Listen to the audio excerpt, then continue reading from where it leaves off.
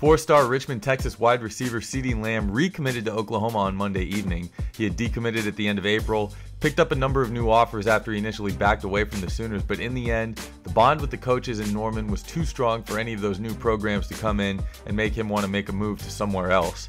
When I talked to him at the Pylon 7 on 7 National Championships in early July, he said that he intended to take visits to LSU and Ole Miss before making his final decision, he eventually backed off of those plans as well and now gives Oklahoma a very impressive trio of Texas wide receiver commits heading into the fall. Lamb has been on our radar for a while now, and I had the chance to see him a couple of times over the spring. Uh, last year at Rivals Camp Series events and a few times this spring at various 7 on 7 tournaments. He also showed well at other events over the spring months, and we saw fit to give him a boost in the last ranking cycle coming out of the camp season.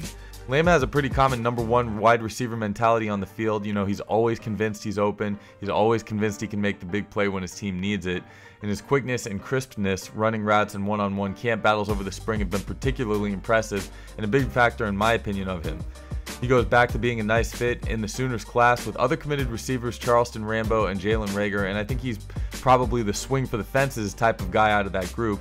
You know, Rambo is going to be your steady, do everything well type of guy. Reagor is a stockier but quick option that you can put in the slot, and he has good vertical speed. But Lamb is going to be great at burning out on a route, winning jump balls, and winning individual battles with cornerbacks in one on one situations.